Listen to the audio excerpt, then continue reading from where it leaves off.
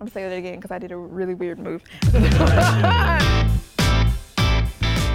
Miss Brittney. Miss Brittney, awesome. What's there's not to say about Miss Brittney? My name is Brittney Boyd Bullock. I'm the youth program manager for the Memphis Music Initiative.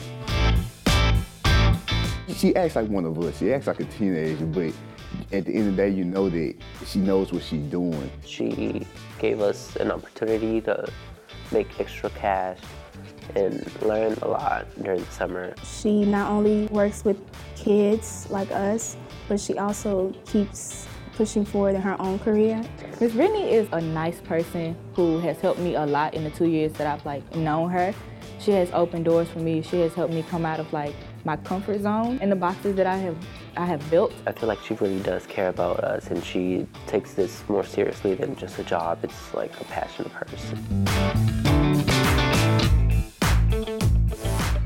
She has um, her dab, which is notoriously um, Pretty horrible. It's not even a dab. I don't even know what that is. It's okay. We're working on it. She tried the dab, which was um, quite funny.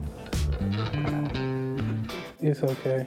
It's not perfect. I mean, I'm not the best dabber either. I don't, I don't know.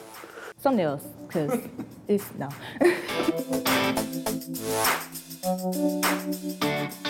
Miss Brittney is very hardworking. She's just not like an average teacher. I really like Miss Brittney. You can tell that she really cares for us. She's always there to help you. There's a lot that we can learn from her. She's just really cool. She finds ways to let you have fun when you do stuff.